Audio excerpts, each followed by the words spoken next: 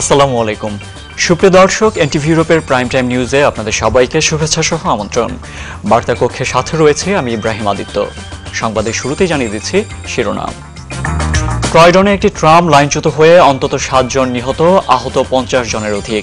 নরহত্যা সন্দেহে গ্রেফতার করা হয়েছে ট্রাম চালককে। দুর্ঘটনায় তদন্ত শুরু করেছে রেল কর্তৃপক্ষ। সব জল্পনা কল্পনার অবসান ঘটিয়ে অবশেষে হোয়াইট হাউসের চাবি পেলেন রিপাবলিকান প্রার্থী ডোনাল্ড ট্রাম্প। বিজয়ী ভাষণে আমেরিকানদের ঐক্যের ডাক দিলেন নতুন প্রেসিডেন্ট। এবং বিশ্ব নেতাদের অভিনন্দনে ভাসছেন ডোনাল্ড ট্রাম্প, সিরিয়া, ইরাক ও ইরান ইস্যুতে ট্রাম্পকে তার অবস্থান পরিষ্কার করার আহ্বান ফ্রান্সের।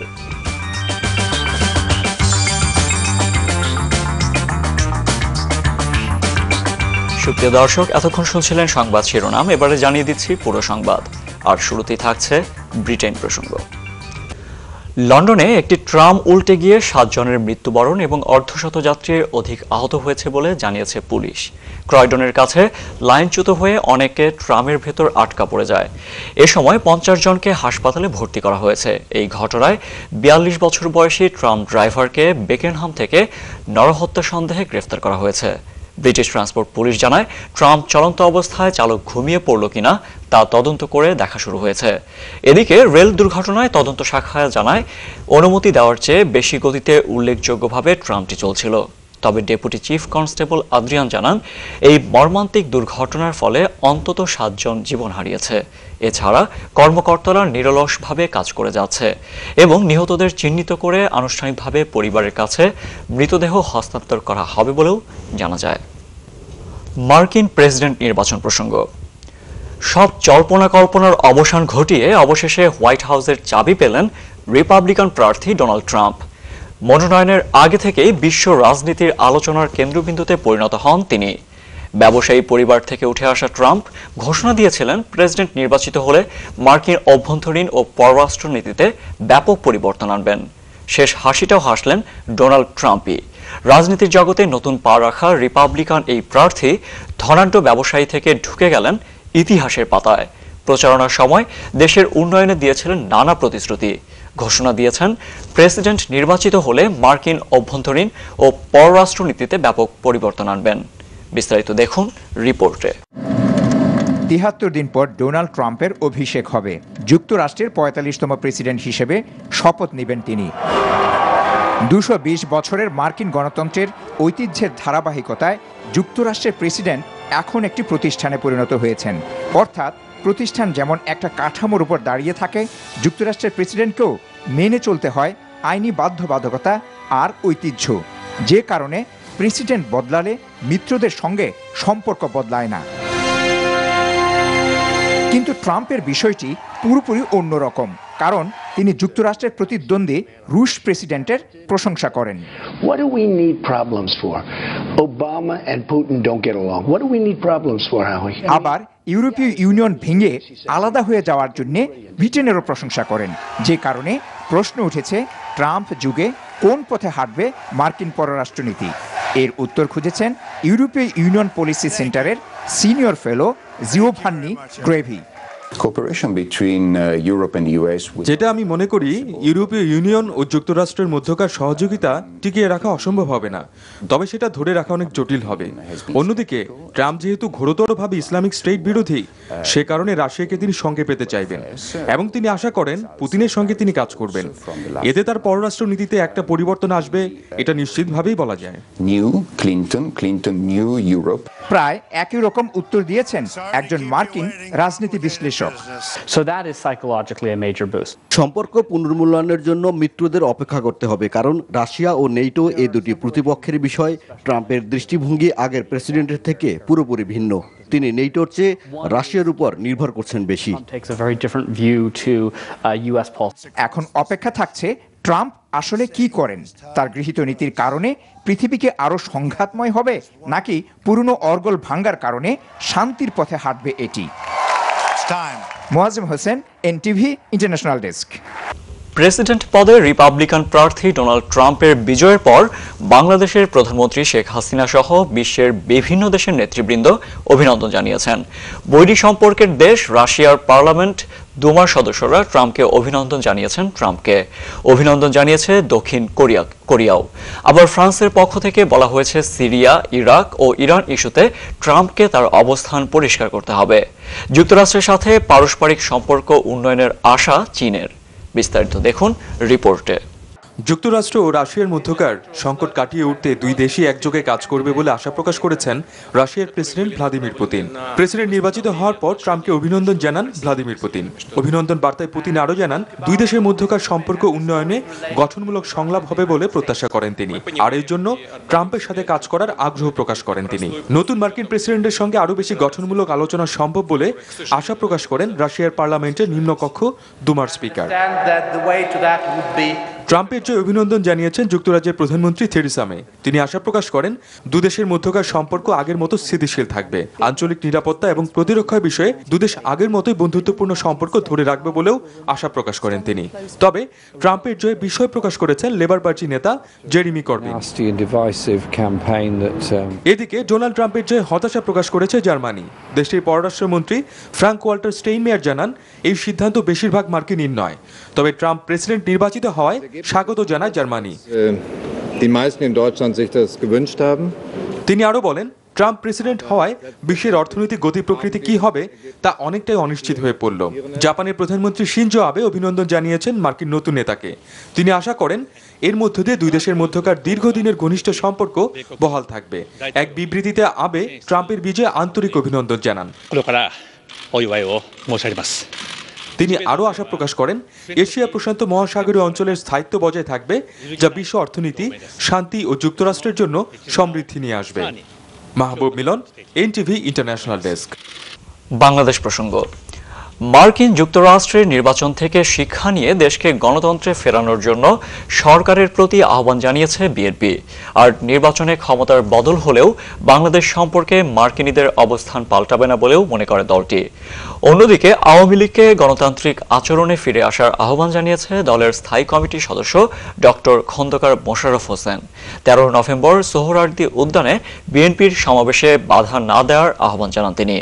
এদিকে আজ বুধবার রাজধানীর নয়াপল্টনে বিএনপির কেন্দ্রীয় কার্যালয়ে সংবাদ সম্মেলনে দলের সিনিয়র যুগ্ম মহাসচিব রুহুল কবির রিজভি আহমেদ বলেন, টানা তৃতীয়বারের মতো ক্ষমতায় আসার জন্য মরিয়া হয়ে উঠেছে আওয়ামী লীগ। বিস্তারিত দেখুন রিপোর্টে।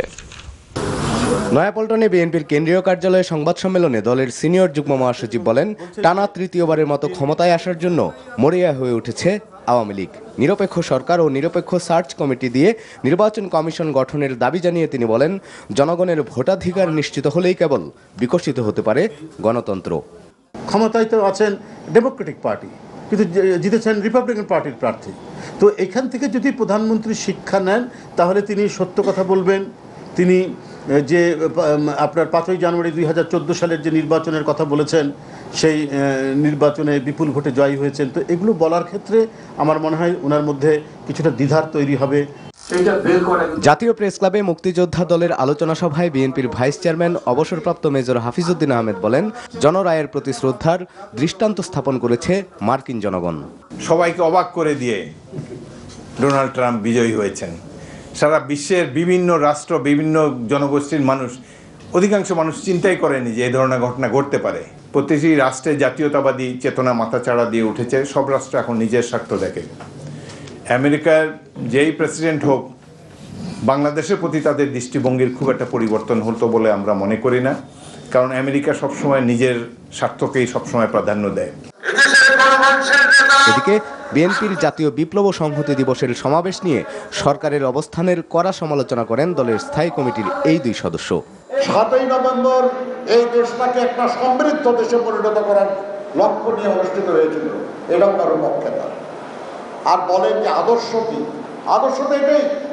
যে গণতন্ত্র আমরা মুক্তিযুদ্ধ করে লক্ষ লক্ষ মানুষ জীবন দিয়ে অর্জন করেছিলাম, সেটাকে আপনারা জবাই করেছিলেন। ওই গণতন্ত্র ফিরিয়ে আনাটা হলো আদর্শ। আমরা দেখতে চাই সরকারের চরিত্র। যদি, আবার যদি তারা এই তালবাহানা করে আমাদেরকে সমাবেশ করতে না দেয় তোরে ধরে নেওয়া হবে এই সরকার সম্পূর্ণভাবে তাদের গণতান্ত্রিক চরিত্র তারা হারিয়ে ফেলেছে। জাতীয় প্রেস ক্লাবে আলাদা দুটি অনুষ্ঠানে বিএনপির নীতি নির্ধারণী ফোরামের এই দুই নেতা বলেন সাতই নভেম্বরের আদর্শকে অনুসরণ করেই আবারও দেশে গণতন্ত্র ফিরিয়ে আনবে BNP. Maksudul Hasan NTV news Dhaka. Community প্রসঙ্গ। লন্ডনের এক্সেলে সাঁত্রিশ বারের মতো অনুষ্ঠিত হচ্ছে গ্লোবাল ট্রাভেল মার্কেটের বিশাল প্রদর্শনী। সাত তারিখ নভেম্বর থেকে নয় তারিখ পর্যন্ত তিন দিনের এই প্রদর্শনীর যে কোনো দেশের পর্যটন স্পট তুলে ধরার জন্য অন্যতম প্ল্যাটফর্ম। সাউথ এশিয়ার অন্যান্য দেশের সাথে তাল মিলিয়ে বাংলাদেশের ভৌগোলিক সৌন্দর্য তুলে ধরতে এই প্রদর্শনীতে অংশ নেয় বাংলাদেশ ট্যুরিজম বোর্ড সহ বেসরকারি বেশ কয়েকটি ট্রাভেল প্রতিষ্ঠান। আহসানুল আম্বিয়ার তোলা ছবিতে আমাদের চিফ রিপোর্টার আকরামুল হোসাইনের রিপোর্ট। লন্ডনের এক্সেলে অনুষ্ঠিত হচ্ছে বিশ্ব বাণিজ্য চুক্তির অন্যতম প্রদর্শনী। বিশ্বের উন্নত বা উন্নয়নশীল অনেক দেশের প্রতিনিধিরা তাদের দেশের আকর্ষণীয় পর্যটন স্পট তুলে ধরেন বৃহৎ এ মঞ্চে। আর এতে ষষ্ঠবারের মতো বাংলাদেশের পর্যটন স্পট তুলে ধরার জন্য পর্যটন মন্ত্রণালয় ও বেসরকারিভাবে অনেকেই অংশগ্রহণ করেছে, যার ইতিবাচক দিকটি তুলে ধরলেন প্রদর্শনীতে আগত সংসদীয় স্থায়ী কমিটির সদস্য নজরুল ইসলাম চৌধুরী। এই অনুষ্ঠানে আমরা এসেছি এবং দেশকে তুলে ধরার সব রকমের প্রয়াস আমরা চালিয়ে যাচ্ছি। আমাদের বিশ্বের সবচেয়ে লংগেস্ট স্যান্ডি সি বিশ্বের সবচাইতে বৃহৎ mangrove forest Sundarban. World travel মার্কেটের এ প্রদর্শনীতে বিদেশি পর্যটকদের আকৃষ্ট করা ছাড়াও আগ্রহী ট্যুরিস্টরা কি চাচ্ছেন সে বিষয়টিও জানা যায়। আরেকটি বিষয় দেখলাম যে তারা ওই ক্রুজ নতুন এই তারা ই করতে চাচ্ছে যেটা নৌপথের ক্রুজের বাংলাদেশে কিন্তু এখন আগামী দুই হাজার সতেরোতে একটি ক্রুজ শিপ যাবে। তেমনিভাবে আরও অনেকে আগ্রহ প্রকাশ করছে যে তারা ক্রুজ শিপ নিয়ে বাংলাদেশে যেতে চায়। ব্রিটিশ গভর্নমেন্টের ওয়েবসাইটে বাংলাদেশ ট্রাভেলের ক্ষেত্রে রেড অ্যালার্ট দিয়ে রেখেছে। তবে বেসামরিক বিমান পরিবহন ও পর্যটন মন্ত্রণালয়ের সচিব এস এম গুলাম ফারুক বললেন পর্যটকদের নিরাপত্তার বিষয়টি সরকার খুবই গুরুত্বের সাথে দেখছে। পর্যটকদের নিরাপত্তার বিষয়টি বিবেচনায় নিয়ে ট্যুরিস্ট পুলিশ গঠন করা হয়েছে যাতে ট্যুরিস্টরা এখন কিন্তু নিরাপত্তা বোধ তাদের বৃদ্ধি পেয়েছে। ট্যুরিস্ট পুলিশরা বিভিন্ন ট্যুরিস্ট স্পটে তারা কাজ করছে। প্রদর্শনীতে যুক্তরাজ্যস্থ বাংলাদেশ হাই কমিশন বিমান বাংলাদেশ সহ বাংলাদেশ থেকে আরও অনেক বেসরকারি ট্রাভেল প্রতিষ্ঠান অংশ নেয়। প্রায় আটশো ট্যুরিস্ট স্পট বাংলাদেশ সরকার আইডেন্টিফাই করেছে। এই ট্যুরিস্ট স্পটগুলোতে প্রত্যেকটা ডিজাইন করে ওয়েবসাইটে দেওয়া এবং সেই সাথে এই ট্যুরিস্ট স্পটগুলোতে যাওয়ার জন্য কি ধরনের যাওয়া যাবে, কীভাবে যাবে, যে ওইখানে গেলে তার কস্টিং কি হবে, কি ধরনের সুযোগ সুবিধা পাবে, কোন কোন ট্যুরিজম প্যাকেজ আছে, এইগুলো কিন্তু এখন আমরা ওয়েবসাইটে দিয়ে দেওয়া হচ্ছে। অতি সম্প্রতি ব্রিটিশার্সের সাথে একটি বাণিজ্যিক চুক্তি সম্পাদন করেছি, যে চুক্তির আওতায় আমরা ইউকের বিভিন্ন ডোমেস্টিক পয়েন্ট এবং ইউরোপের বিভিন্ন পয়েন্ট থেকে প্যাসেঞ্জারদেরকে লন্ডনে নিয়ে আসব হিত্রোতে এবং হিত্রো থেকে আমরা বিমানে কানেকশন দিব একটা হচ্ছে আমি জেনারেল টুরিস্টদেরকে অ্যাট্রাক্ট করব to visit Bangladesh This is the problem. No one does any research. They just talk. There is no tourism as such. Only tourism Bangladesh gets. You got to understand. This is very important. The travelers, after they travel to all the other countries in the world, this is one of these one of these countries. Oh, I just need to go and see the place. Culture দেখার জন্য. There is no such thing as tourism in Bangladesh as of yet. There will be, but obviously it needs a lot of work. বাংলাদেশের মোট GDP সাত দশমিক এক আর পর্যটন খাত থেকে আসে দুই দশমিক দুই চার। পর্যটকদের নিরাপত্তা অবকাঠামোগত ধারাবাহিক উন্নয়ন সহ ট্যুরিস্ট স্পটগুলোর যথাযথ প্রমোশনের মাধ্যমে এখাতে বাংলাদেশের অর্থনৈতিক সফলতা আসতে পারে শতভাগ। Akramul Hussain NTV news London. পূর্ব লন্ডনের স্টেপনি শাহজালাল মস্কের ভিত্তিপ্রস্তরের কাজ উদ্বোধন করা হয়েছে সোমবার। টাওয়ার হ্যামলেটস কাউন্সিলের নির্বাহী মেয়র জন বিক্স ও ইস্ট লন্ডন মসজিদের ইমাম শেখ আব্দুল কায়ুম সহ কমিউনিটির বিশিষ্টজনেরা এ সময় উপস্থিত থেকে মস্কের ভিত্তিপ্রস্তর শুভ উদ্বোধন করেন। মেয়র বিক্স বলেন, মসজিদের উন্নয়নে কাউন্সিল সবসময় পাশে থাকবে। মস্ক কমিটির চেয়ারম্যান ডক্টর মোহাম্মদ আলী জানান, নতুন এই ভবন নির্মাণেও প্রায় তিন দশমিক পাঁচ মিলিয়ন পাউন্ডের প্রয়োজন। তিনি সকলের কাছ থেকে সর্বাত্মক সহযোগিতা কামনা করেন। নতুন এই ভবন সম্পন্ন হলে প্রায় তিন হাজার লোক একত্রে নামাজ আদায় করতে পারবে বলে জানানো হয়। মসজিদটি নির্মাণ হলে শিশুদের আরবি ক্লাস, মহিলা ও বয়স্কদের জন্য নানা রকম শিক্ষামূলক কার্যক্রম পরিচালিত হবে। এছাড়াও ভিত্তিপ্রস্তর উদ্বোধনে অন্যান্যের মাঝে উপস্থিত ছিলেন মাওলানা Shamsul Haque K M Abu Taher Chowdhury, Tower Hamlets কাউন্সিলের speaker Khalis Uddin councillor Ayas Miah, councillor Mahbub Alam, councillor Ohid Ahmed, councillor Rabina Khan সহ মসজিদের মুসল্লিরা। উনিশশো পঁচাত্তর সালের তেসরা নভেম্বর জাতীয় চার নেতাকে নির্মমভাবে জেলের ভেতর হত্যার তীব্র নিন্দা জানিয়েছে লন্ডন মহানগর আওয়ামী লীগ। সোমবার পূর্ব লন্ডনের মাইক্রো বিজনেস সেন্টারে জাতীয় জেল হত্যা দিবস পালন উপলক্ষে এই নিন্দা জ্ঞাপন করা হয়।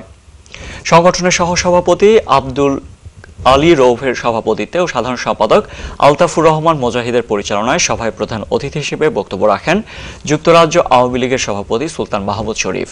বিশেষ অতিথি হিসেবে বক্তব্য রাখেন সিতাব চৌধুরী, আব্দুল আহাদ চৌধুরী, আনসারুল হক মেহেরনিগার চৌধুরী, এম এ করিম, তারিফ আহমেদ, আনহার মিয়া, মইনুল হক সহ অনেকে। এছাড়া সভায় বক্তারা বঙ্গবন্ধুর কন্যা শেখ হাসিনার নেতৃত্বে দেশকে এগিয়ে নিতে সবাইকে ঐক্যবদ্ধ হয়ে কাজ করার আহ্বান জানান। বস্তুনিষ্ঠ, গঠনমূলক এবং পেশাদারিত্ব নিয়ে সংবাদ পরিবেশন ও কমিউনিটির প্রয়োজনীয় ইস্যুগুলো উপস্থাপন করার লক্ষ্য নিয়ে গঠিত সংগঠন North England TV reporters association পূর্ণাঙ্গ কমিটি গঠিত হয়েছে এক সভার মাধ্যমে।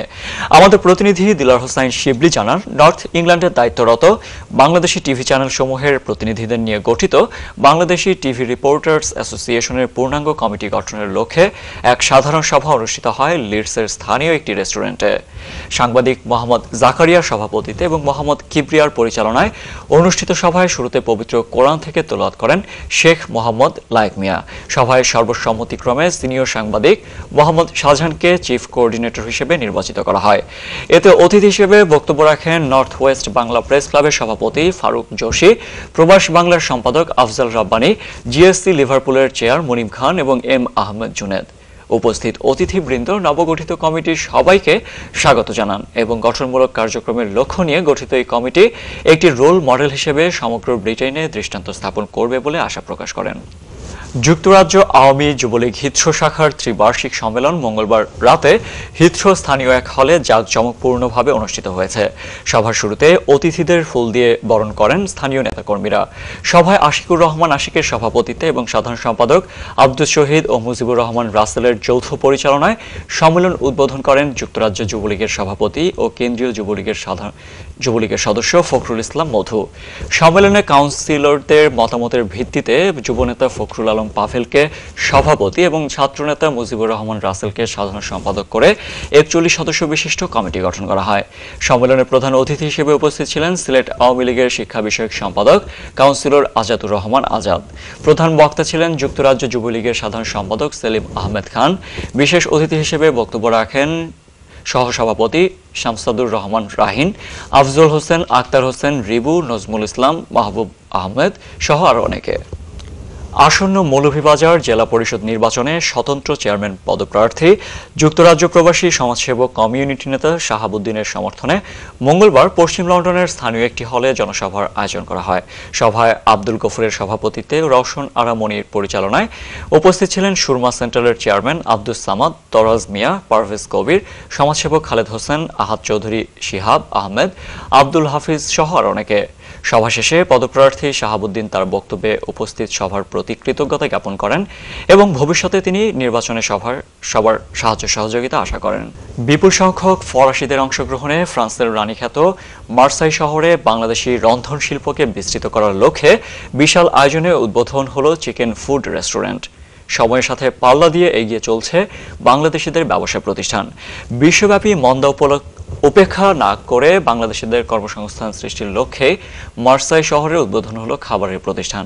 এ সময় ফিতা কেটে উদ্বোধন করেন প্রতিষ্ঠানের পরিচালক A K M Tuha Chowdhury, Bappa Debnath, Tarafdar Islam Iqbal Hossain, Shubho Debnath, community নেতা সাংবাদিক সোহাইল আহমেদ, রাজু সহ মার্সাই প্রবাসী নেতৃবৃন্দ। পরে প্রতিষ্ঠানের সাফল্য কামনা করে বিশেষ মোনাজাত অনুষ্ঠিত হয়। বর্ণাঢ্য আয়োজনের মধ্য দিয়ে প্যারিসের বিলবিলের পিরোনিতে ফ্যাশন হাউস, রিভল স্টোরের উদ্বোধন করা হয়েছে।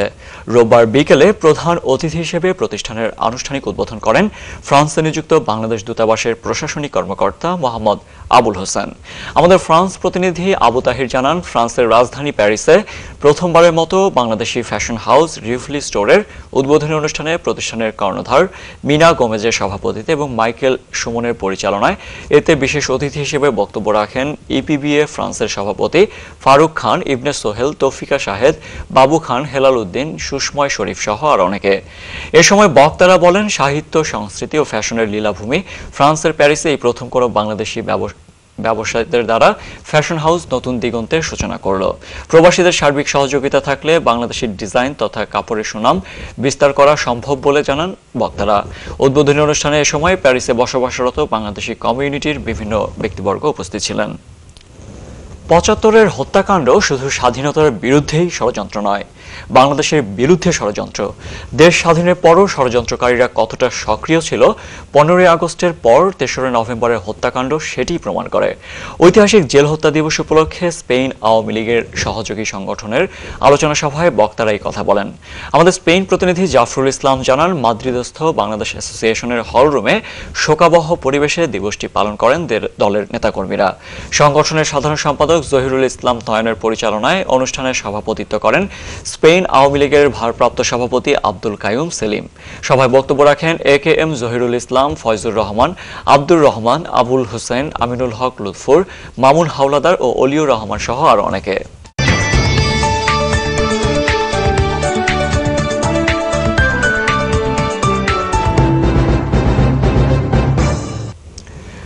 সিলেটে শহীদদের স্মৃতির প্রতি শ্রদ্ধা জানালেন শিক্ষামন্ত্রী ও আওয়ামী লীগের প্রেসিডিয়াম সদস্য নুরুল ইসলাম নাহিদ এমপি। দলের প্রেসিডিয়াম সদস্য নির্বাচিত হওয়ার পর আজ বিকেলে সিলেট কেন্দ্রীয় শহীদ মিনারে এসে শহীদদের প্রতি পুষ্পস্তবক অর্পণ করেন মন্ত্রী। এ সময় দলের বিভিন্ন স্তরের নেতৃবৃন্দ উপস্থিত ছিলেন। পরে সংক্ষিপ্ত সমাবেশে বক্তব্য রাখেন মহানগর জেলা আওয়ামী লীগের নেতৃবৃন্দ। প্রধানমন্ত্রী শেখ হাসিনার নেতৃত্বে শিক্ষা, স্বাস্থ্য ও অর্থনীতিতে দেশ দুর্দান্ত গতিতে এগিয়ে যাচ্ছে, উল্লেখ করে মন্ত্রী বলেন। দলের নেতাকর্মীরা এক হয়ে থাকলে উন্নয়ন কেউ দমাতে পারবে না। আগামী তেইশে নভেম্বর সিলেটের প্রধানমন্ত্রী শেখ হাসিনার জনসভা সফল করতে দলের নেতাকর্মীদের প্রতি আহ্বান জানান মন্ত্রী। শিক্ষামন্ত্রী নিজেকে সিলেটবাসীর কাছে ঋণী দাবি করে বলেন, এই সিলেটের মানুষ তাকে জন্ম দিয়েছে। মানুষের মতো মানুষ হিসেবে গড়ে তুলেছে। লেখাপড়া শিখিয়েছে, রাজনীতিও শিখিয়েছে। সমাবেশের আগে মন্ত্রী শাহজালাল রহমতুল্লাহ ও শাহপুরান রহমতুল্লাহের মাজার জিয়ারত করেন। সুনামগঞ্জ পৌর শহরের ষোলঘর সরকারি প্রাথমিক বিদ্যালয়ের প্রধান শিক্ষককে প্রত্যাহারের দাবিতে বিদ্যালয়ের সামনের সুনামগঞ্জ দোয়ারবাজার সড়ক অবরোধ করে বিদ্যালয়ের শিক্ষার্থীরা। এ সময় ওই শিক্ষকের বিরুদ্ধে বিক্ষোভ করে তারা শিক্ষার্থীদের অভিযোগ করে।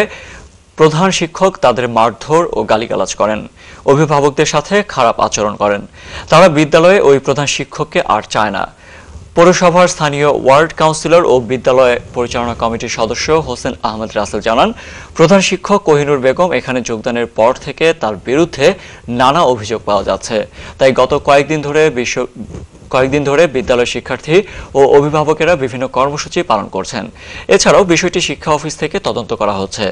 এর আগে গত চব্বিশে অক্টোবর বিদ্যালয়ের সব শিক্ষকেরা জেলা প্রাথমিক শিক্ষা কর্মকর্তার কাছে প্রধান শিক্ষক কোহিনুর বেগমের বিরুদ্ধে অসৌজন্যমূলক আচরণ, শিক্ষার্থীদের শারীরিক নির্যাতন ও অর্থ আত্মসাতের লিখিত অভিযোগ করেন।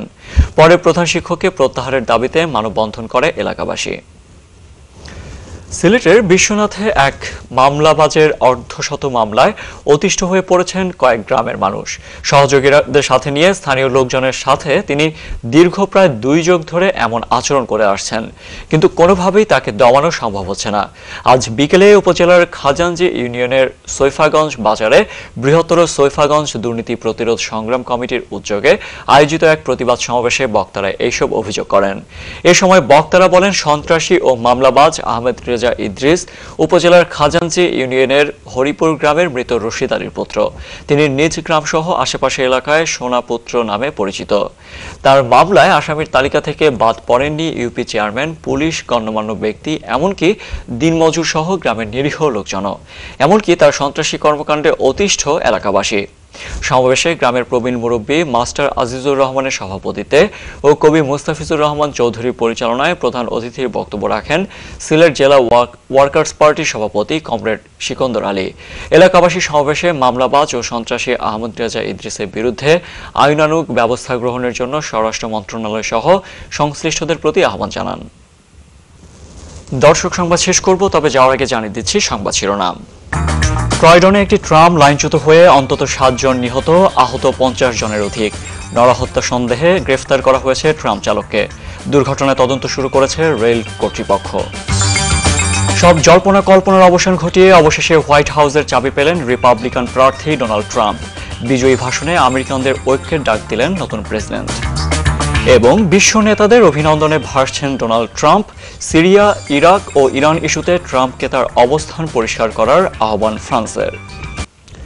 দর্শক, এই ছিল আমাদের হাতে থাকা এনটিভি ইউরোপের প্রাইম টাইম নিউজের সর্বশেষ আয়োজন। সাথে থাকার জন্য সবাইকে ধন্যবাদ। আল্লাহ হাফেজ।